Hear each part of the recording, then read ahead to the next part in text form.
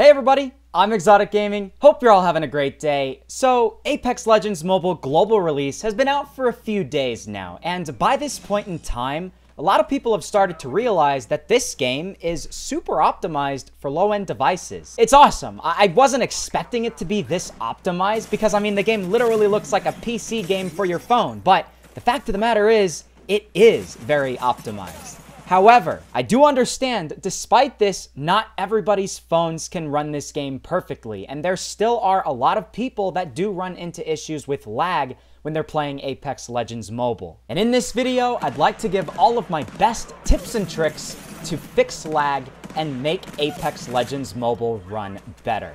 It's nice because I'm not a good player, I'm not gonna lie, but I do know how to fix lag. So buckle up Brace yourselves! An Apex Legends mobile noob is about to give you tons of tips and tricks to fix lag and make your game run better, and the best thing is, is they're actually gonna work. Leave a like if this video does help you guys out, and subscribe for more Apex Legends mobile content subscribe to see the journey of me going from noob to pro, and comment down below any other tips and tricks you have to fix lag in this game because chances are I might have missed one or two different things and everybody else that's watching this video can go down below in the comments and see even more tips. If you comment something good, I'll heart your comments and people can see what you have to say. Thanks guys, and with that being said, let's get this started. So here we are, and I first want to apologize for my very newbie Apex Legends mobile gameplay.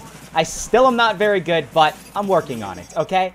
The nice thing is you don't have to be a pro to actually know how to fix lag. So what exactly do you need to do? I wrote an entire script for this video to make it sound as professional as possible. That's why my eyes are looking down a little bit while I'm talking to you guys here. The first things you should do are some of the most basic tips. They're the easiest ones and the ones that you should try first. The two key things that might be causing lag for you is either storage issues or memory issues. If your storage is completely full, it's gonna slow up your phone. So what you need to do is delete anything that you don't need that's filling up space. Large videos, pictures, apps that you don't use anymore, old text messages with people you don't talk to anymore, random downloads and files. All of this you can transfer to your computer or store on the cloud so you're not losing any of that data, but you don't need all of this massive stuff on your phone itself. A good rule of thumb is to have at least 20 to 25% of your storage free, and it should greatly reduce lag in your game. When it comes to memory, this is referring to RAM, random access memory for computers. If you don't have too much RAM on your phone, like you have two, three, maybe even four gigs of RAM and you're playing Apex Legends Mobile, you can run out of memory pretty quickly. So every time you want to play Apex Legends Mobile, swipe out of every other app on your phone so only Apex is open and then restart your device to clear cache. When you literally turn your device off and on again, as cliche as it sounds, it's pretty much a little refresh for your device and your game will run a lot better. But hey, we should probably talk about some of the in-game settings, right? This portion of the video will be dedicated to all of the different settings that I would either turn on or off, and I'm gonna try to do this as quickly as possible one thing to note, if you really are having severe lag in the game, you might actually want to turn off some of these auto settings like auto open doors, auto open chest, auto loot, stuff like that. Anytime your device has things set to auto, then that means that's a little bit of data that your phone has to remember to just always do every single time you get near an item or an object or something like that. So that's something you could potentially turn off if you really need to, but honestly, you really need to go down to your graphics and audio settings and lower your graphics settings as low as you can go and keep your frame rate high.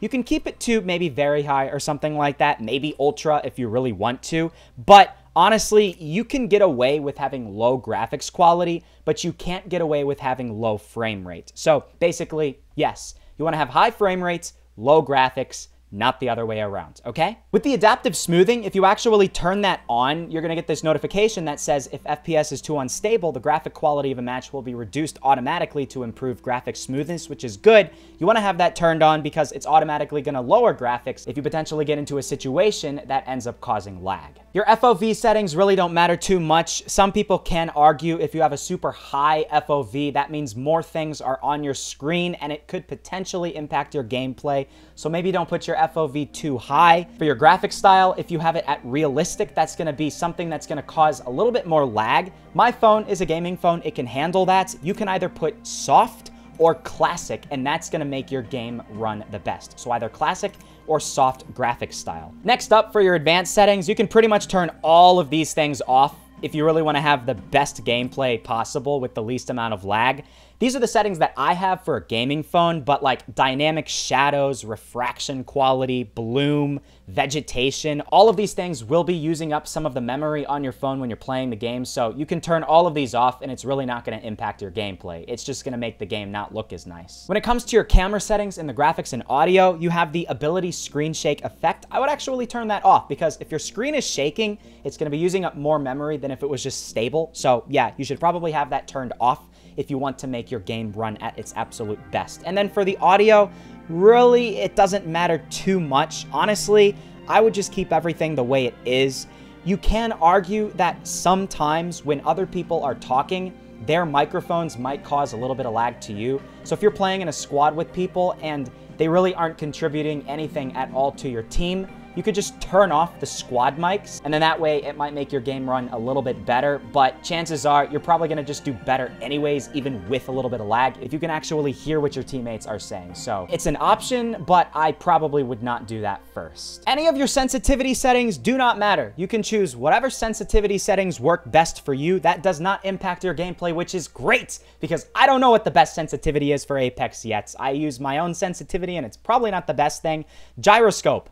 I do not use a gyroscope, but I do think if you turn gyroscope on, it might cause your device to lag a little bit more. So you might want to try playing Apex with gyroscope off I understand if you play every game with gyroscope on, you probably want to have it on anyways because that's something you're more comfortable with, but see if you turn it off, if it impacts lag, and maybe you might want to turn that off. For your overall control settings, these do not matter at all, just like your sensitivity settings. Controller settings do not matter at all. I do have to say, Sometimes Bluetooth also impacts lag a little bit. If you have something connected via Bluetooth to your device, that might actually take up a little bit of memory usage. So if you're noticing a little bit of lag when you're using a controller, you might just want to disconnect the controller and use the regular touchscreen buttons and see if it impacts your lag. Maybe it might lag a little bit less. And finally, at the end, when you go down to your dynamic download, well, you do have the option to turn some of these things off. You can delete any of the dynamic download that you end up downloading for Apex Mobile it's just to take up more and more storage space on your phone. And if you do have that issue with storage and Apex Legends Mobile just takes up too much space on your phone, you can delete things like cosmetics, you can delete videos and other stuff like that because, you know, some of these things are 100, 200 megabytes, 300 megabytes, and, you know, that is going to make your game run better. But that's not it for the tips and tricks, no, because there's a lot more stuff that I gotta tell you guys about. One thing that you might have not realized or maybe just overlooked is the fact that if your game starts to overheat your device, then that's actually going to cause more lag. You can't have your device getting too hot. So there's a couple of things you can do. You can play while you're holding your phone in front of a fan, so you're blowing cool air toward the back of your phone. That actually cools it down a little bit.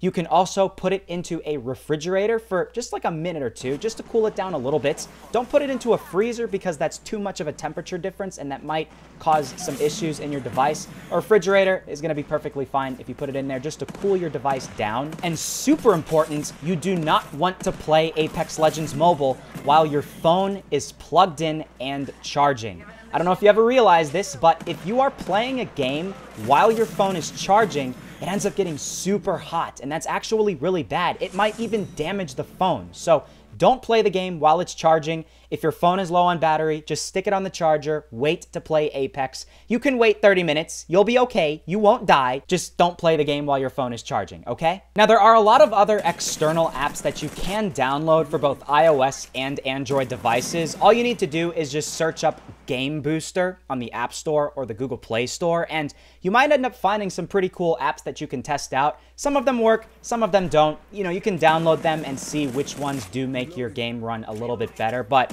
the whole point of these apps is they end up clearing your device cache. Some of them have an antivirus, which, you know, you might actually have a virus on your phone, and that might be causing some of the lag in the game. They can do things like clearing up your RAM and, you know, accessing your storage, letting you know which pictures are taking up the most amount of space and stuff like that. Again, this is not necessarily my first tip and the thing that you should try first, but it is an option if, you know, you've tried all the in-game settings and you still end up having lag. And here's another thing that you can do for Android devices. You can turn off something called animation scale in developer options. It's going to be a little bit different for every device, but what you need to do is go into your device settings and search build number. After you find it, you need to tap build number seven times, and eventually you will unlock developer options. After you go into the developer options, scroll down until you see the drawing section and lower the window animation scale, transition animation scale, and animator duration scale to either 0.5 times or completely off. When you turn these things down, it basically reduces the animations that your device has, so it'll open up apps faster and basically make things feel a little bit more instant. It doesn't work for everybody, but it is worth a shot, and you can always turn these animations back to one time if you like it better. And hey, speaking about memory, you know when I told you guys earlier to swipe out of every other app and only have Apex open, you might still have apps running in the background, and that's bad because that ends up diverting your device's RAM to a bunch of other things that you don't want on. You only want it to be focusing on Apex Mobile. So what you need to do is on Android, you can go to your app settings, find an app that doesn't matter too much to you, like a different game or even Facebook or Google, find battery settings for that app, and then make sure you turn off the ability for the apps to run in the background. For iOS devices, go to General Settings, Background App Refresh, and turn everything off that you don't want running in the background. Facebook, YouTube, Google, and a lot of other apps love doing background app processes, and it doesn't matter. So start with those ones first, and then you should notice your phone to start to speed up. If you want to go even crazier with this on Android, you can go to your developer options, scroll down to the apps section, and then limit the background app process limit to maybe one or two or something like that. Sometimes that might even work better than closing out of everything manually. If you remove the background processes to everything else and you only focus it on Apex, you're gonna have all of your phone's power focused on Apex only, and it's gonna run that much better. But hey, speaking of game boosting apps, I know I told you guys about the external ones earlier on. Some phones do end up having a built-in game boosting app. I have a $100 Motorola phone with like 3 gigs of RAM. It's not a very high-end phone, but even that phone has a built-in game app. So you might want to actually open that up and explore around and see if there's any setting within that game app that says something like maybe boost your device performance or something along those lines. That might actually be the route that you want to take.